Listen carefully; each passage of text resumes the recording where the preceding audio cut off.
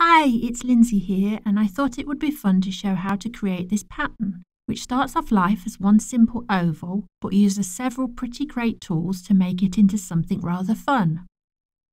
Then, if that wasn't enough, I'll add a layered effect like this. If that looks like a technique you're interested in learning, then stick with me as I ramble my way through the process. I have already created my drawing and gone for a simple 800 by 800 pixel square seeing as our finish pattern is square and my grid is set to 100 pixels. I'm going to enable snapping and snap to grid to help me draw my shape, but freehand is fine if you prefer. With the oval shape tool selected, I'm going to create a simple wide oval that reaches just below halfway on my canvas. I can switch to the selection tool and move my oval over to the centre. I want my top and bottom to be a bit more pointy, I like to use my grid to help with this, so I'll change my grid spacing to 10 pixels. This will also help me nudge my oval down a bit so it's not hanging off the drawing. I'm going to tap on the anchor at the top of my oval to select it and make the control handles appear. To move the handles in unison, I'm going to tap, then tap and hold one control handle. This will make both the handles move together rather than one at a time. Once I'm happy with my point, I can do the same to the bottom anchor. Because I have my grid active, it will make it easy for me to get the same angle. Now that's done, and with my shape still selected, I want to use Duplicate in Place from the Edit menu. I have two shapes now, and I'll drag one down. Adding a second finger to my screen once I have started dragging will help me drag my shape in a straight line. This and Snap to Grid will enable me to position my path perfectly. With this selection tool, I can drag a marquee that will select both ovals. You can use Select All from the Edit menu if you prefer. Then, after using Duplicate in Place from the Edit menu, I'll switch to the Rotate tool.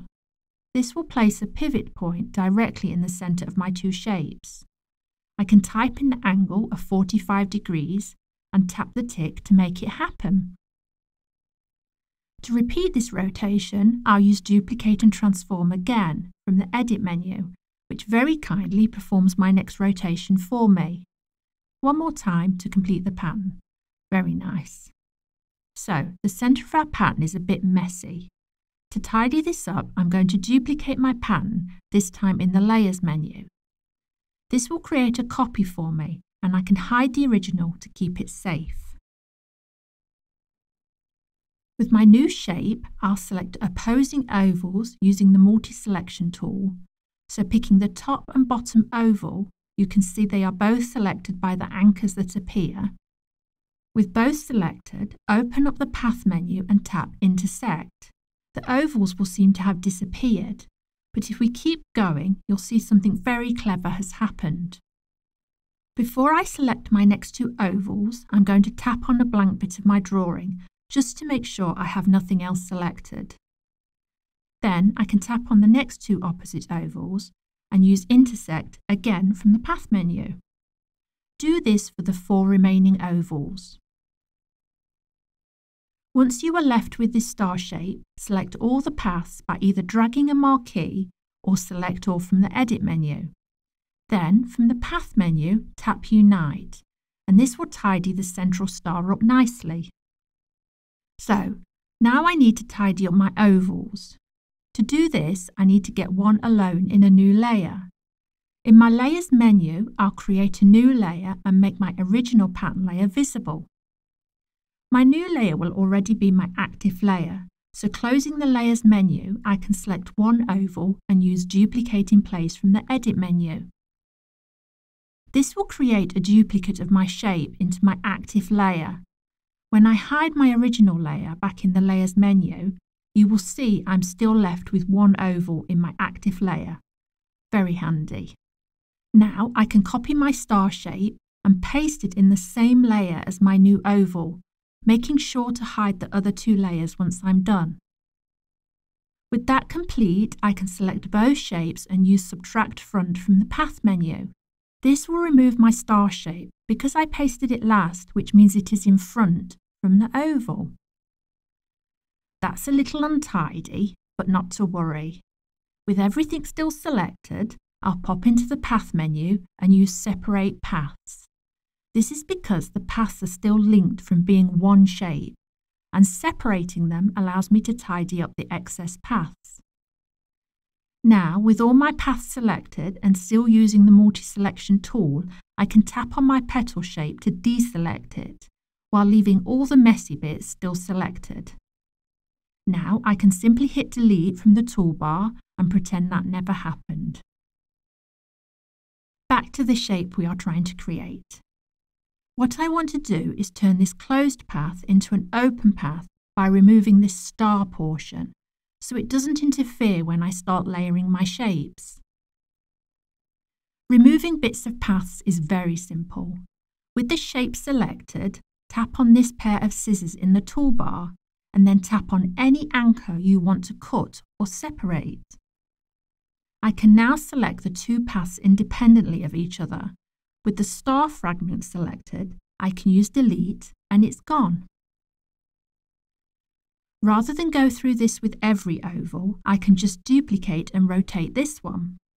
To help me with this, I want to set my grid back to a larger number to help me find the centre for my canvas. Check I have Snap to Grid still active and select what has now become a petal shape. From the toolbar, I can make Rotate my active tool. This time I want to move the rotation point to the centre of my canvas. Because I have snapped to Grid on, this will guide me to the exact central point of my drawing. Very handy. With my rotation point moved, I'll remember to use duplicate in place from the edit menu and then type in 45 degrees for my angle and tap the tick to make it happen. Having performed the rotation, I can use duplicate and transform again from the path menu until I have the desired number of petals. Next, I'll pop back to my hidden star layer, make it active and copy it. Hide its layer again then paste it on top of my newly created petals. There we have our pattern, ready for some layering. I'm going to duplicate this layer and hide the original, just to keep it safe. I can always delete it later if I don't mess up. My shape being black isn't very inspiring, so I'm going to select all from the Edit menu and change the colour to the lightest of these yellows I have saved in my swatches. I'll pop the colour codes in the description if anyone wants them. When using the swatches menu, make sure you have strokes selected. Otherwise, you'll fill your shapes with colour. Right, now I'm happy with that. I'll head back to my layers menu and duplicate this layer again. Out of the two layers, I want to lock the top layer but keep it visible and select the second layer so I can work on it. I'm going to delete all but one of my petals, so I only have to work on one and then duplicate and rotate it. It won't look like I've done anything because the top layer is still visible, but they have gone. Look. I'll zoom in on my one remaining petal so you can see, and with it selected, I want to use Outline Stroke from the Path menu. This will take the stroke applied to my path and as the name says, create an outline. As you can see, the path has moved from the centre of my stroke colour to the edge, and my stroke colour is now a fill. To create my layered effect, I only want the innermost path, but before I can do this, I need to make sure my shape is above my star, using Bring to Front from the Arrange menu. When paths are behind other paths, like a stack of paper, certain actions will only affect the top path. So with my shape now brought to the front, I can select the scissor tool. I want the inner path of this shape, so I'm going to cut this anchor here and again on the other side. This has created two separate paths from my original shape and has applied the fill colour to both. If I drag out the outer path, you can see the two paths. I'll delete the unwanted path, turn off the fill colour to my remaining path, and apply a stroke colour. If I zoom right in, you can see that the path of my new shape passes right alongside the shape in the layer above, which is how we create a layered effect. Because the stroke of a path is applied to either side, my path appears thinner than the above stroke. This may work for the effect you are going for, but I want my layer to be the same width as the path above, so I'll double my stroke width. With that second layer created, I can duplicate the petal and rotate it as I did before to complete the pattern.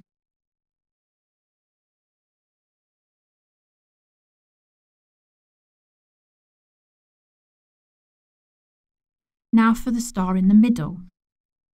First, I need to make sure my star shape is at the front of all shapes in this layer.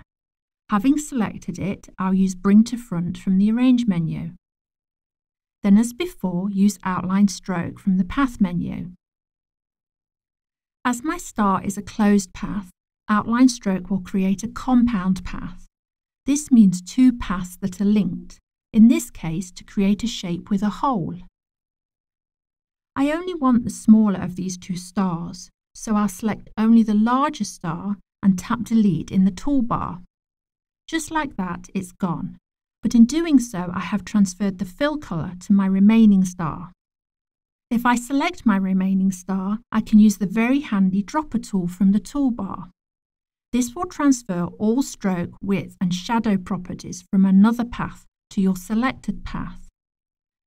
With the dropper tool active, I'll simply drag my finger across the screen until the colour I want fills this ring. Then I'll just let go and hey presto, the fill colour is gone and the stroke is the exact width and colour of the other paths in this layer. To create more layers to my pattern, I can repeat the process as many times as I like. Always remembering to duplicate each layer and working down the layer menu so all layers appear beneath each other. And there you have it, a layered vector shape.